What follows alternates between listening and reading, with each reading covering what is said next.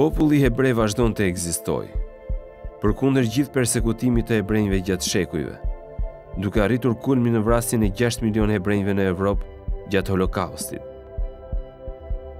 Perëndia qëndron besnik ndaj premtimeve të tij. Dhe jo vetëm kjo, pavarësisht faktit se Izraeli ende nuk i shërben atij si tërësi. Ai i kthen njerëzit e tij në vendin e tyre. Perëndia zgjedh për të rivendosur njerëzit e tij në tokë pavarësisht nga mungesa e pendimit kombëtar. Toka u krijua nga Perëndia dhe çdo gjë i përket atij. Zotit i përket toka dhe të gjitha gjërat që janë mbi të. Bota dhe banorët e saj.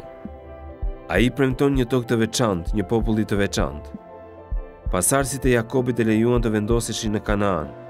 Por pasi ia dha këtë tokë popullit hebre, Perëndia e quante akoma Izraelin vendin e tij. Ajo është toka e zgjedhur prej tij, sepse ai kishte një qëllim të veçantë për të.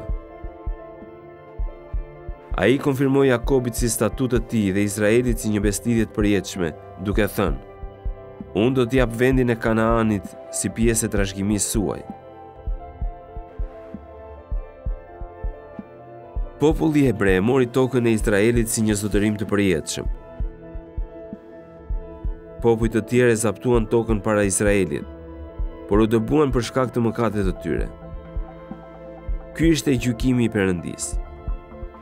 Dije, pra që sot Zoti, Perëndia yt, është ai që do të marshojë para teje si një zjarr gllabërues. Si do t'i shkatërrojë dhe do t'i rrëzojë para teje. Kështu ti do t'i përzësh dhe do t'i vrasësh shpejt ashtu si të ka thënë Zoti. Kur Zoti, Perëndia yt, do t'i ketë dëbuar para teje. Mos thuaj në zemrën tënde, është për shkak të drejtësisë sime që Zoti më dha në zotërim këtë vend. është përkundrazi ligësia e këtyre kombeve, që e shtyu Zotin t'i dëbojë para teje.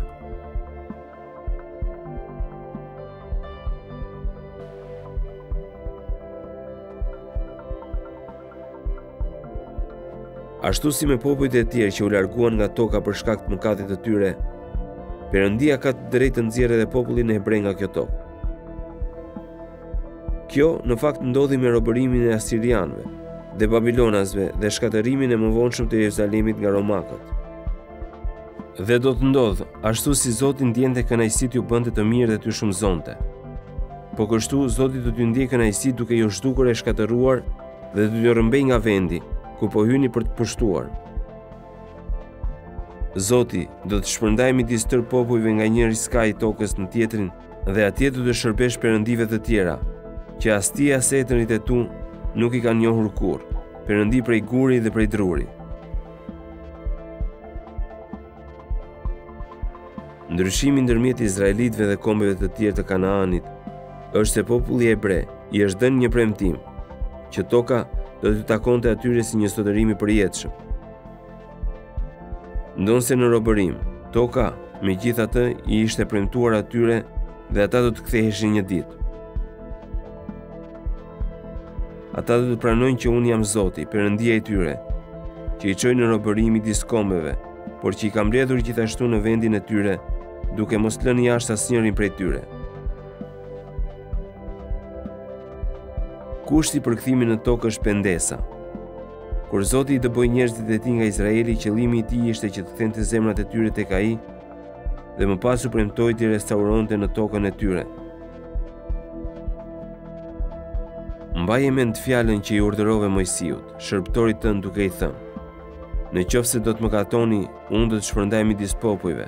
Por në rast se do të ktheheni tek unë dhe do të respektoni urdhërimet e mia dhe do t'i zbatoni në praktikë, edhe sikur njerëzit tuaj të shpërndarë të jenë në kufijtë e qiellit, unë do t'i mbledh që andej dhe do t'i sjell përsëri në vendin që kam zgjedhur ku të banojë emri im. Por gjatë shpërndarjes së tyre, ata nuk u penduan dhe emri i Perëndisë ishte në këtë mënyrë i përdhosur. Kështu i shpërndava ndër kombe dhe shkuan në të gjitha drejtimet nëpër tërë vendet. I gjykova sipas sjelljes së tyre dhe veprimeve të tyre. Me të arritur te kombet ku kishin shkuar, e përdhosën emrin tim të shenjtë, sepse për ata thuhej, këta janë populli i Zotit, por megjithatë u është dashur të dalin nga vendi i tij. Kështu pata kujdes me emrin tim të shenjtë, që shtëpia e Izraelit kishte përdhosur midis kombeve ku kishte shkuar. Perëndia zgjedh të kthejë njerëzit e tij në tokë, pavarësisht mungesës së pendimit kombëtar. Ai bën kështu për shkak të emrit të tij të shenjtë.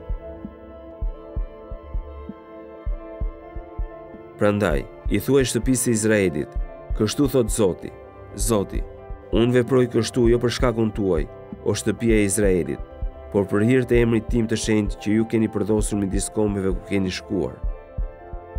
Unë do ta shenjtëroj emrin tim të madh, të përdhosur midis kombeve, që ju e keni përdhosur në mes tyre. Kombet do të pranojnë që unë jam Zoti, thotë Zoti, Zoti, kur të shenjtërohem tek ju para syve të tyre.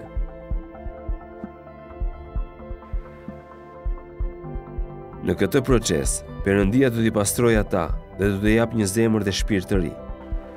Më pas Izraeli do të kujtojë mëkatet e tij dhe do të pendohet për veprat e tij. Në atë kohë Perëndia do të riparojë tokën për t'u bërë edhe një herë si kopshti i Edenit. Më pas të gjithë do të shikojnë se Perëndia i Izraelit është Perëndia ynë i mrekullueshëm.